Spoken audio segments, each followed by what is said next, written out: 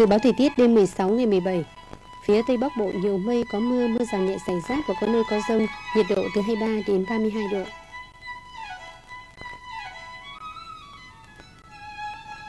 Phía Đông Bắc Bộ mây thay đổi, đêm không mưa, ngày nắng, chiều tối có mưa rào và rông vài nơi, nhiệt độ từ 26 đến 37 độ. Khu vực Hà Nội mây thay đổi, đêm không mưa, ngày nắng, nhiệt độ từ 27 đến 37 độ.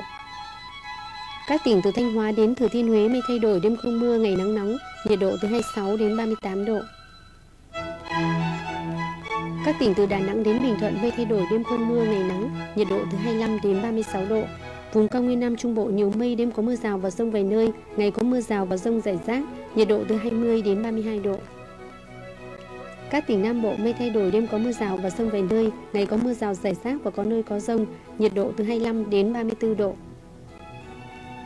Dự báo thời tiết đêm 17 ngày 18, Bắc Bộ có mưa rào và rông vài nơi, các tỉnh ven biển Trung Bộ đêm không mưa, ngày nắng nóng, Nam Bộ và cao nguyên Nam Trung Bộ có mưa rào và rông rải rác.